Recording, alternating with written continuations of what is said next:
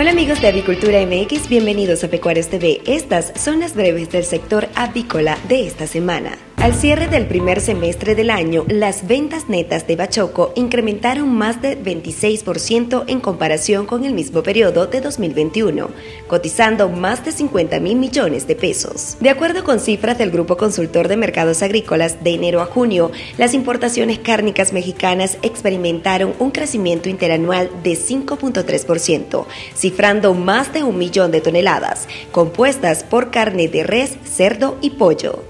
El Consejo Nacional del Pollo de Estados Unidos reportó que derivado de la inflación, 87% de los consumidores están comprando más o igual cantidad de pollo versus seis meses atrás. Esto pese a que el precio de esta proteína es más alto que en 2021.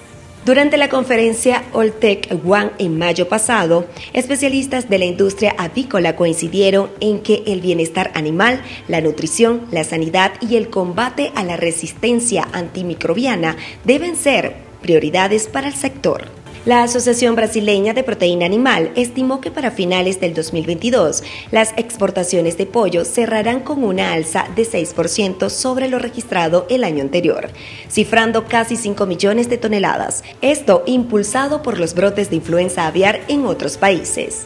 Muchas gracias por acompañarnos en las breves del sector avícola. Nos vemos la próxima semana.